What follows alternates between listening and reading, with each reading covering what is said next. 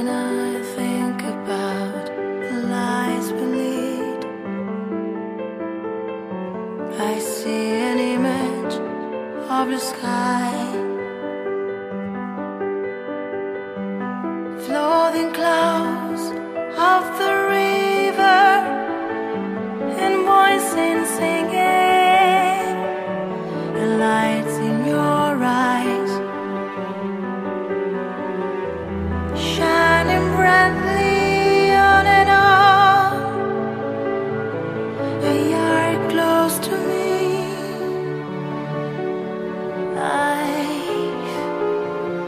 It's for